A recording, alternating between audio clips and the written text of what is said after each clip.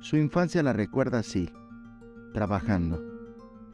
Rosa vende dulces típicos en el centro de Tuxtla Gutiérrez desde hace tiempo. Ahora tiene 59 años. Me levanto a las 6 de la mañana, 5 y media, voy a recoger mis cosas. A las 8 estoy aquí. Tiene como 12 años, 12 años vendiendo aquí en la calle. Tengo este, como vendiendo, vendiendo cuando era yo joven, de ahí dejé de vender, de ahí empecé, tiene como 12 años que empecé aquí a la calle a vender. Lo que es esto.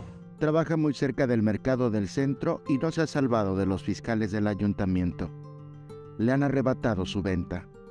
Está muy baja la venta Es poco lo que viene uno sacando al día. A veces para mal comer, está muy feo. No tenemos lugar. Nos, quita, el otro día me quitó mis cosas el fiscal. Ya hasta me enfermé de la presión.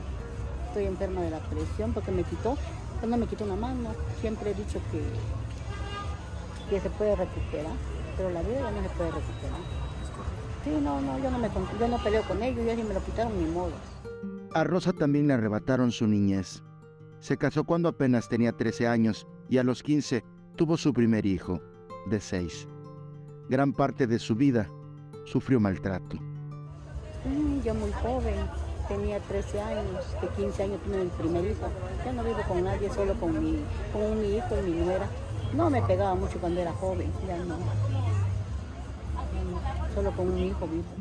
Rosa perdió su juventud en prisión por una pena de 10 años, por lo que asegura fue una mala decisión.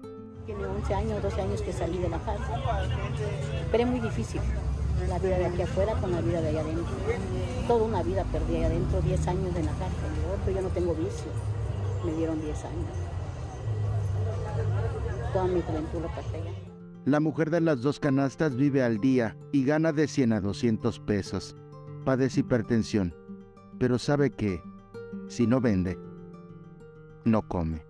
Con imágenes de Christopher Canter, Eric Ordóñez, Alerta Chiapas.